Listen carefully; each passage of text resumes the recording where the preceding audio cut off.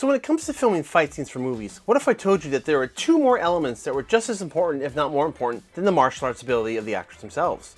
We're going to get to that in just a second.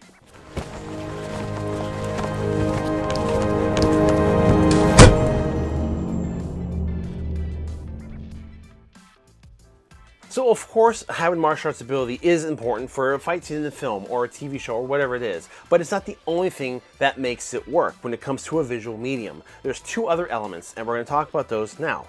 Now, we're going to draw on the experience that we had, um, Mr. Zach and I, we actually worked on a project several years back it was a short film project, and just to keep it in a nutshell, we were trying a whole bunch of different filmmaking techniques, you know, different camera moves, different special effects, location shooting, wardrobe, props, and we wanted to insert a martial arts scene. So we do have a brief fight scene in the film, and I thought this would be a fun opportunity just to talk about that as a little bit of a different topic and share what we learned, the difference of, you know, sparring or training in the classroom versus trying to make something look good for the cinema. And our film really didn't even have a story. It was just a little infiltration piece of a guy sneaking into an Air Force base and he got into a confrontation with another soldier and that was our fight scene. Now, the first major component when it comes to doing fight scenes is planning. You have to plan and you have to choreograph. And I'm sorry, but if there's any art that knows about choreography, but the truth of the matter is, you know, unless you're a Hollywood film who have massive budgets, those films will spend months with your actors on the mat practicing and training and blocking out scenes and choreographing scenes, especially, you know, when you're talking about films that could cost a million dollars a day on set, they need to know what they're doing beforehand. But in this case, we had a very, very, very non-existent budget. It was just a fun project, and we had a day and a half to film at this at an airport, local airport, and we knew that that was a very tight schedule to film our whole film. It's about a 10 minute movie. So we knew that we had to go bang, bang, bang, bang, bang. We had to keep a very tight agenda. And we did for the most part, even though the fight scene itself took a couple of hours to film. That was a good chunk of the day.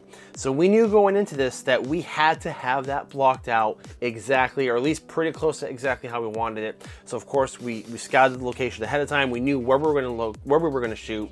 And then we spent uh, quite a bit of time back in the dojo, my instructor's dojo at the time, and we, we found two individuals who had some martial arts experience. So right off the bat, we didn't have to worry about teaching them basic moves. They already knew them. It was just about what we thought would look cool for the scene. And we walked through it. We had them walk through it. We let them sandbox a little bit. We got a rough idea down, and it got to the point where it was memorized. And we thought, now, okay, now that we've got it good on the mat, now we can take it out to the concrete and do it for real. And act, now that we know what we're gonna do. And like I said, the fight scene lasts about a minute, but it took us a few hours to film it. And you know, we had to reset the camera, there's reflectors, there's lights, and we did record a little bit of audio, and we filmed it from multiple different angles. And one of the things, when it comes to shooting fight scenes in movies, what a lot of people don't realize is how exhaustive it can be. I mean, you're when you're watching the movie back, you got two characters that are fighting for a minute. Okay, they're fighting for a minute. Do you have any idea how many takes those actors have probably have to gone through to get that minute? A lot. And that's one thing that a lot of new directors will do is when they're directing fight scenes is that they have the actors do the whole scene, and they'll reset the camera, film the whole scene again, set up a close-up, do the whole scene again. The problem with that tactic is you are wearing your actors out. Even if they are professional athletes, doing that for hours, you're going to start to get a loss in the performance because it is exhausting work, especially how they have to amp themselves up when the cameras are rolling. So basically, one of the main tricks uh, movies do is you film the whole thing in a wide shot. So go through your whole choreographed sequence in a wide shot. It, the whole thing's not to look pretty. The, the, the angle's not flattering for every move, but at least you have coverage. And if you really have the time, you know, try maybe two or three wide shots at different angles and do the whole sequence that way. And that way, at least you have it in the can so you can always cut to that as needed. Then plan a bunch of close-ups and angle changes, but only film those sections. And this is where planning comes into play. Know the shots that you want to close up, pick your dramatic shots, pick your angles, and shoot those sections of close-ups. And take breaks. Breaks are important. Even if you've got a tight schedule, you have to let your actors recharge, or for, even for safety reasons. In our case, we were filming at an airport at the dead of summer. It was 95 degrees. And for anyone who knows Florida, 95 degrees in Florida with a lot of humidity feels like 110 and the air hugs you. It is uncomfortable. And we had to do this for hours. And at one point, you know, we ran through it so much, one of our actors did have to take a break. He was not feeling very well, so we definitely had to cool him off. Um, so whenever you're filming fight scenes, you got to plan these things in. You, you, can't expect your actors to go hours and hours and hours without stopping. So in many cases, a lot of films will spend days on fight scenes if you have the luxury or the budget to do so. So, you know, they're not so quick to film as people um, anticipate them being. Now, when it comes to actually making contact, um, there's a lot of obvious tricks you can do with certain camera angles, especially like when you angle the camera and one person's in front of another one. You know, punches look like they connect a little bit better, kicks look like they connect a little bit better, and because the camera produces a flat image, especially if you use um, a little, any bit of a zoom, zooming will actually flatten your image a little bit more. It kind of compresses distance, so it, it can sell that effect a little bit better. Other tricks, um, you'll see these tricks all the time in movies, just those angle changes. Even in the movie like The Karate Kid, at the end, the crane kick, if you look very, very closely, you will see that uh, Daniel's foot does not actually make contact with Johnny's face that they're slightly standing, I mean, they're standing very close together, but they're on a slightly different plane. It looks like if you look at their back legs, that Daniel is maybe a few inches to maybe a foot further into the background than Johnny is, but you really can't tell by the camera placement, especially with that zoom. It looks like he's running into the kick when actuality is Johnny, you know, here's the camera, Here's Johnny, and here's Daniel's foot like right here. So he's on a, he's on a separate plane. He doesn't actually make contact. So there's a lot of obvious tricks like that in terms of camera angles, and especially when you start adding sound effects. When it happens like this and it's quick and you're in the moment, it, it, the illusion sells itself if it's done properly, if it's planned out right, and if it's shot properly. The second thing that really makes a difference in movie fight scenes is the editing. So you've got your planning and you have your editing. I think people greatly underestimate how important good editing is to sell an effective fight scene. The, the, the editors are some of the most underappreciated film um, staff in a lot of cases because the ones that are really good, you won't notice their work. So the best edit is the one that you don't see. So when it comes to fight scenes, there's a lot, a lot of little tiny tactics and tricks that can make a scene, that can make or break a scene.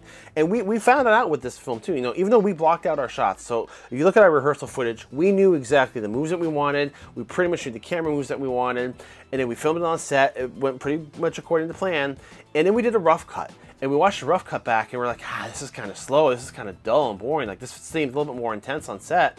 But then, of course, that was just a rough cut. We went back and we trimmed it up. And there's a lot of little tricks you can do. For example, uh, switching angles more often kind of gives the illusion of more of a frantic action.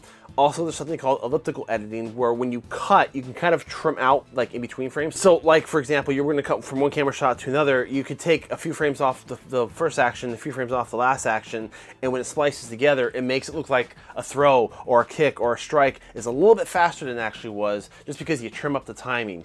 We went in and we tightened up the frames. We chose some alternate shots. So for example, here you can see that um, for the choke, our actor went for, he kind of loaded up first. So he loads up his arm and goes in for that choke. It looks kind of cool, but it did kind of slow down at least by a half beat for the, the, the, the, timing. So when we went back and recut, we just found a different angle. So we definitely saw that as a first result for the rough cut. We watched it like, ah, wow, this seems kind of dull and it felt rehearsed. Whereas the second round, it felt a little bit better. It was tighter. We feel we got a better result out of it. And it could still use some more work, but there's a lot of little tips and tricks like that. And you just got to understand that editing is a huge part of movie making, especially when it comes to fight scenes. It can make or break the scene. And a good example of this is the show Cobra Kai. When the show first started, you could tell that, especially in Ralph Macchio's case, that he wasn't, he's not a martial artist in real life. So, you know, they had to work with him and his fight scenes and his moves were extremely limited.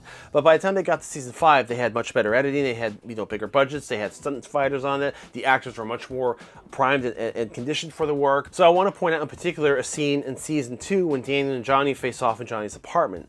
Um, it's a brief moment, but if you really look at what makes that scene work is purely the editing. The moves that they use are so basic. It's, a, it's shot in a small space and all you really catch are glimpses of Daniel and Johnny moving, but they intercut shots from the first movie for, for dramatic effect. But this cutting back and forth and cutting on action, and there's elliptical editing in there, made the fight scene a little bit more believable than it actually was. I guarantee you, had we just watched the whole scene play out in a wide shot, it would have been pretty boring, like most fight scenes would be. So that's a great example of how they were able to amp up the effect and the level and believability and dramatic investment of that fight scene just with a little bit of creative editing. And of course, there's a lot of other tricks that they use in Hollywood. You know, there's CGI, there's advanced special effects. So you can take some actors and map the main actor's faces onto, you know, deep fakes, all sorts of tricks in the book. But there's a lot of rudimentary stuff that works just as well and sometimes better. And we just wanted to share our experience with you, just to show you a little bit of a glimpse into this project. Um, if you want to know more about this project, I am releasing the video right now on Patreon. You want to go there and check it out for our members. Um, it's a little bit more of a behind the scenes of what this project was, what our goals were for it, how much we got done, you know, what the future of it sto- is in store for it, and a little bit more, a, little bit more of a closer look. So if you want to go check that out, it's available now on our Patreon and on YouTube memberships. Now, if you really want to talk about what's involved in choreographing a fight scene, you're going to want to talk to Aaron Cohen. He was one of our guests, and he was one of the tactical coordinators um, who helped train Keanu Reeves for John Wick 2. So you're going to want to really hear the story from the real John Wick himself and his fascinating background if you want to know more about movie fight choreography.